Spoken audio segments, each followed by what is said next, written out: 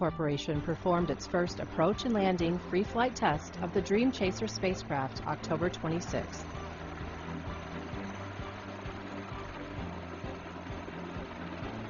We have SEP arms and change mode ready.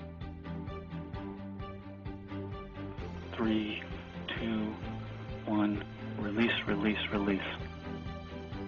Good release. The vehicle successfully released from its carrier aircraft, an Erickson Aircrane helicopter, as planned at approximately 11:10 a.m. Pacific.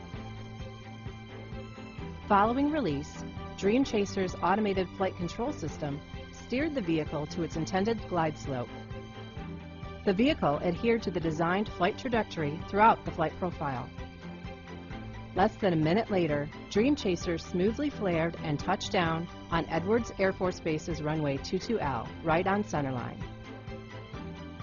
While there was an anomaly with the left landing gear deployment, the high-quality flight and telemetry data throughout all of the critical phases of this approach and landing test will allow Sierra Nevada Corporation teams to continue to refine their spacecraft design.